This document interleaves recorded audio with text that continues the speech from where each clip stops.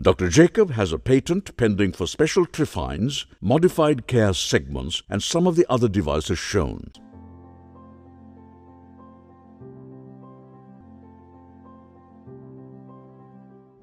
Corneal allogenic intrastromal ring segments, CAIRS, refers to the intra-channel placement of allogenic tissue and is used to treat corneal ectasia. As the name implies, it refers to allogenic tissue of any source that may be used in this manner and can include, among others, fresh cut CAIRS, unprocessed or processed CAIRS, preserved or packaged CAIRS with or without modifications, and with or without storage and shelf life capabilities. CAIRS is traditionally used as standard, longitudinally cut, uniform thickness segments. However, we have also described customized CAIRS for further refining the results of CAIRS treatment. Customization allows the effective CAIRS to be tailored to the individual keratoconus patient, providing better topographic and refractive results that are more tailor-made for each individual patient. Synthetic symmetric intracorneal ring segments, ICRS, have been used for keratoconus since many years. We too have previously described very encouraging results for symmetric, uniform thickness CAIRS in keratoconus with patients showing significant improvement in almost all the parameters studied such as uncorrected and spectacle corrected distance visual acuity, spherical equivalent, topographic astigmatism, maximum and steepest keratometry,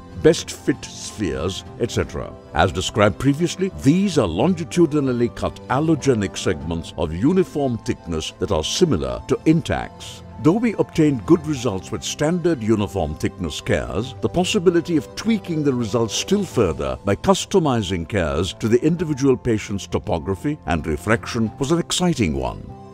We therefore used customized CAIRS in patients with asymmetric keratoconus. This was done by shaping CAIRS according to their topographic and refractive needs. The uniform thickness CAIRS was marked and using a special CAIRS customizer instrument that we designed ourselves, we were able to mark the segment according to the desired optic zone and degree or clock hour. We could then cut the exact shape that was required according to the patient's keratometric gradient and then insert it intrastromally into the patient's cornea. Customized CAIRS includes asymmetric or symmetric, specifically shaped CAIRS that are prepared and these can be of progressive or variable thickness, progressive or variable width or combinations.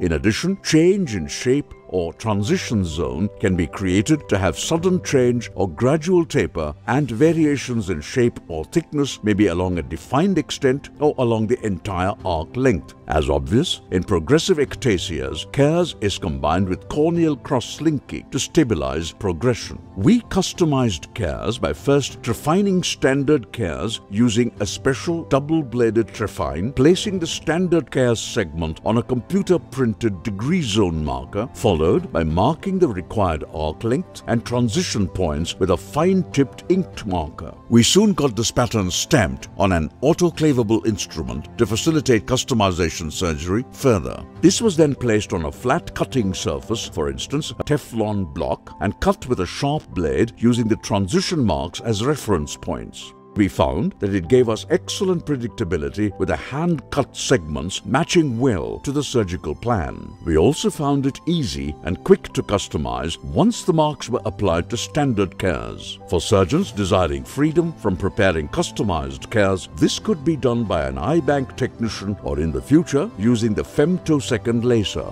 Once the customized CAIRS are prepared, they are inserted into femtosecond or manually dissected channels in the cornea. Just as for standard CAIRS, we continue to use wider tunnel settings together with shallow implantation. The usual settings we employ are an inner diameter of 4.6 mm and outer diameter of about 7.1 mm with tunnel depth programmed to be at 50% of minimum stromal thickness in zone of implantation. CAIRS per se has numerous advantages over synthetic ICRS. For one, the allogenic nature of the tissue decreases the risk of some of the complications associated with synthetic ICRS such as stromal melting, necrosis, intrusion, extrusion, migration, etc. If Kmax is more than 58 diopters or if minimum corneal thickness at the zone of implantation is less than 450 microns or If the mesopic pupil size is more than 6 mm, synthetic ICRS is generally contraindicated.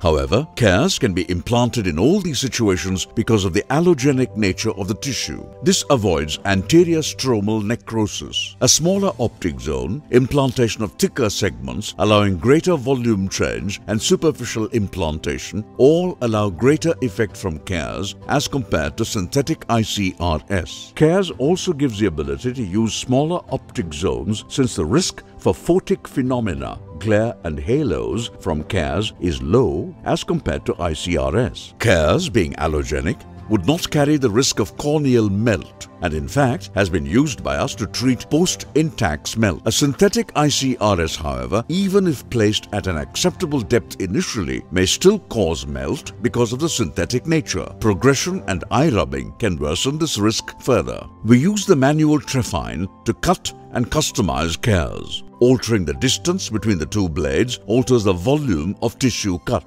The femtosecond laser can also be used for creating custom CAIRS. It can very accurately customize the arc length, the degree of taper, as well as the thickness and depth of the CAIRS, adding exciting new possibilities in harnessing CAIRS further. More extensive customization by varying shapes further using the femtosecond laser is being researched further. Since CAIRS can be customized on spot, large inventories are not needed. Unlike the synthetic progressive thickness ICRS, which come in only fixed sizes and proportions, making true customization impossible. This is unlike CAIRS, where exquisite customization of any pattern is possible. For instance, unlike synthetic progressive thickness ICRS, we did not use uniform end-to-end taper, but chose the location to correlate with topographic pattern. Different customized shapes can be employed, some examples being single side taper, double side taper, central taper, connecting band shape, etc. To conclude, Custom CAIRS is an addition procedure that can be used successfully for mild to advanced cases of keratoconus and post-LASIK ectasia to improve topography and vision. Decrease in coma and other HOAs improves distorted vision. In combination with CXL, it can help avoid DALK in many patients. The future, we believe, will see more and more use of customized CAIRS.